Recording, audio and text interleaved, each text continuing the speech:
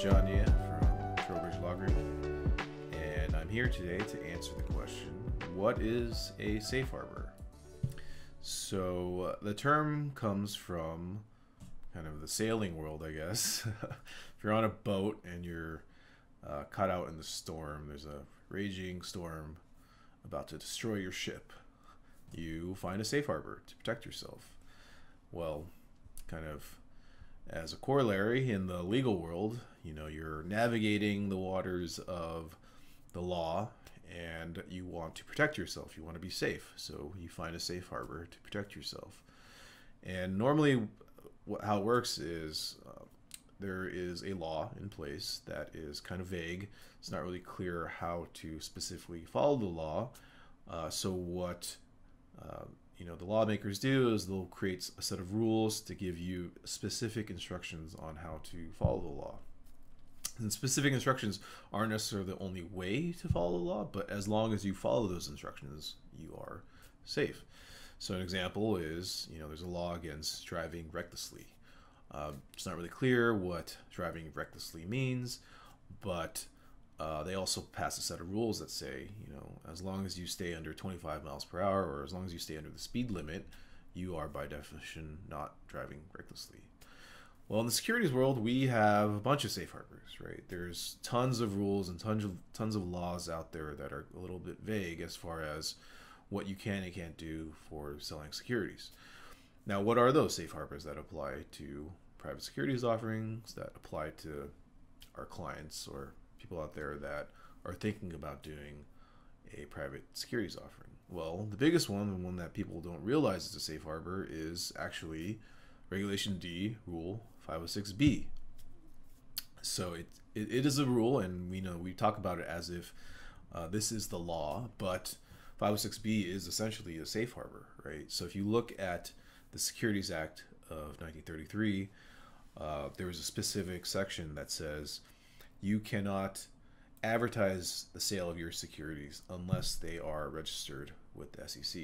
Registration is essentially, um, you know, becoming a public, publicly traded company, right?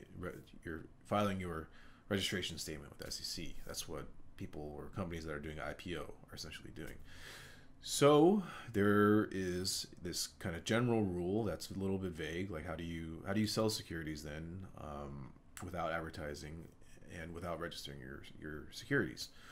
Well, because there was this vagueness, the SEC what they decided to do, or Congress actually decided to do, was to create the safe harbor under Regulation D, Rule 506B, which is uh, as long as you have you know a pre-existing relationship with your investors and all your investors are either accredited or you're allowed up to 35 sophisticated investors you are safe so you follow these specific rules and you are safe. You will have not been deemed to have um, solicited investors in your offering without registering your securities.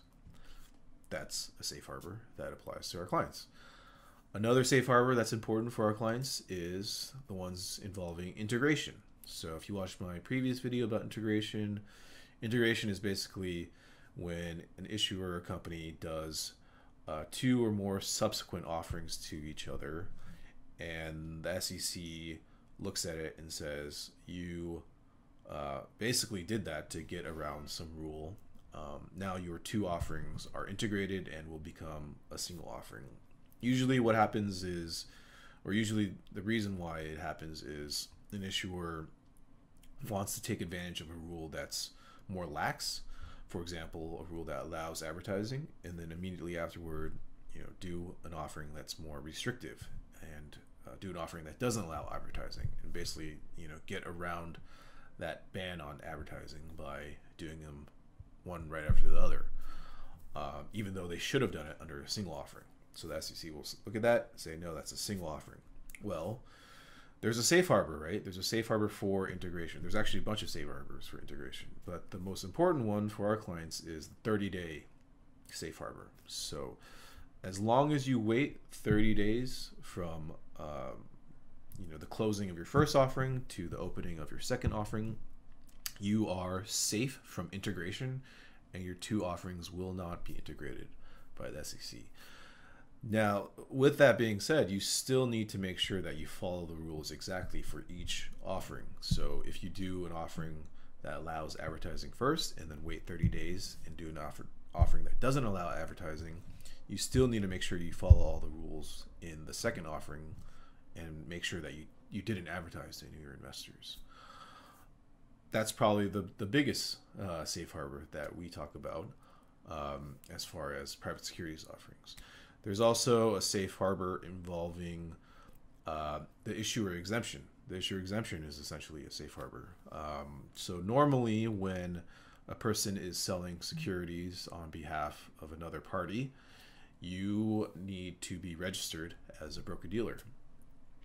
But if you are a person um, that is part of the issuer, right? So you're the sponsor in the offering uh, then there is a safe harbor that covers you because you are part of the issuer. You fall under the issuer. You're an issuer exempt. You are under the issuer exemption, and you do not need a broker dealer license for selling um, the securities of the company that you essentially control.